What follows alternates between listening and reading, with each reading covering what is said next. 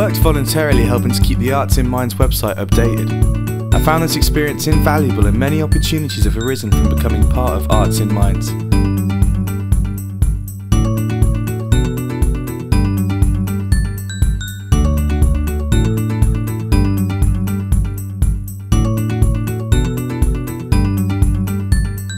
Art for me means hope. Being part of Art in Minds is important to me because of how art helps me and gives me a way to spread the word and put mental health art in the public eye.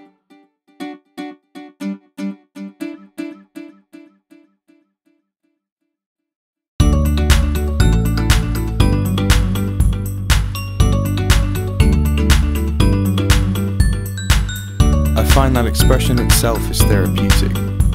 The act of developing and focusing on a painting, as well as the calming effect of the creative act, balances my mood.